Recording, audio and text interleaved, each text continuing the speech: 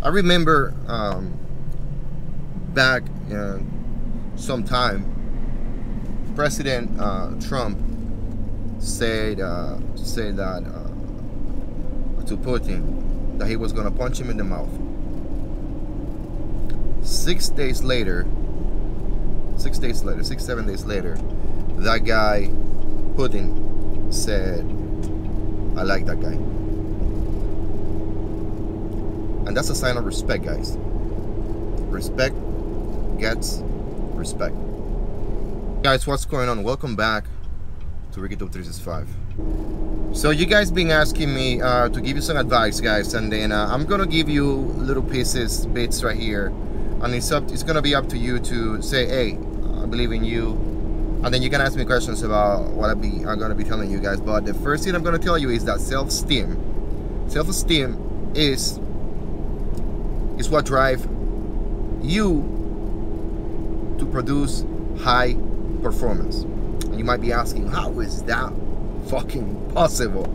Uh, uh, uh, and guys, it's, it's very simple, guys. If you if you think about, it's very simple. If you think about, you know, how you perform and, and uh, when you perform and, and what's going on through your head when you're performing a task, doesn't matter if it's if you're fucking or if you're doing a project at at, work, at home.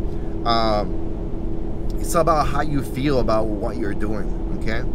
Um, in many occasions I've been uh, I've been tired like super super tired but uh, I still have a sense of urgency of, of, of, you know of doing the best I can and I want to do the best I can because I I think highly about myself because I don't want my product to be shit uh, and that's what the one reason that's why I say that that self-esteem is is the uh, is, is is the number one uh, uh, factor to drive uh, best performance.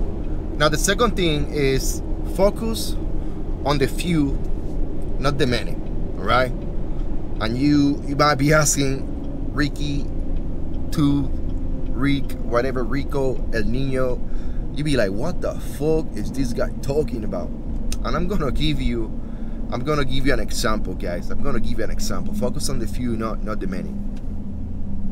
Uh, the highest award the military gives to uh, to service members for valor. Okay, the highest award that they give out, the highest award. There's no highest award than this. Okay, uh, is the Medal of Honor. Okay. Um, I want to show you something real quick. Take a look. The Medal of Honor is the ultimate form of recognition for courage on the battlefield. Anybody who receives it is immediately hailed as a hero like none other. It has to be witnessed, and people have to write reports about why this person deserves it. They have earned it, and they have earned it the hard way. Thing that you're going to learn in combat. You learn a lot about love. The Medal of Honor represents usually the worst day of your life. It is the only one left alive on the front lines. He makes a choice to defend that line by himself. He kind of saved all our butts. He was a good guy. He was a brave, bravest man I ever... I remember his last words. Here you go. I'll cover you. Everything we did that day, we didn't do it because we hated the enemy. Combat is not a great thing to be in, and it's not a motivation to hate by no means. It's a motivation to love your brothers.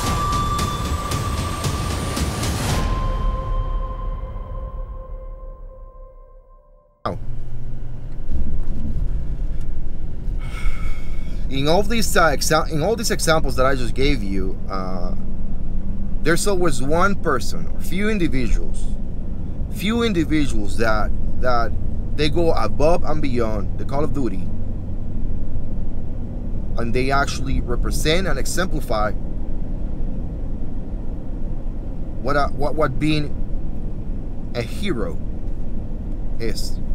It's not that they go out there thinking, "Hey, I'm gonna get the medal. If I do this, I'm gonna get the Medal of Honor."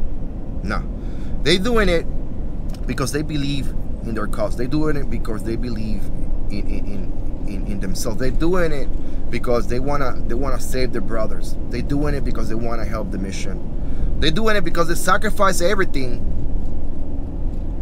to include themselves and put the uh, welfare of others as a priority. And and to me, uh, to me that's that's that's, the best, guys. I'm, I'm, telling you. I have worked in, in many many years with, with with, with hundreds and hundreds and hundreds of people, but again, the few are the ones that I still contact today. Are the ones that I still talk to them today because uh, because I know that doesn't matter where I'm at, doesn't matter what I need, doesn't matter situation, anything, they will be there for me, and as well I'll be there for them. And this is a bond that we that we carry uh, together, and uh, and it's and it's tough, guys. It's very tough, but I gotta tell you, I gotta tell you, focus on the few, not the many.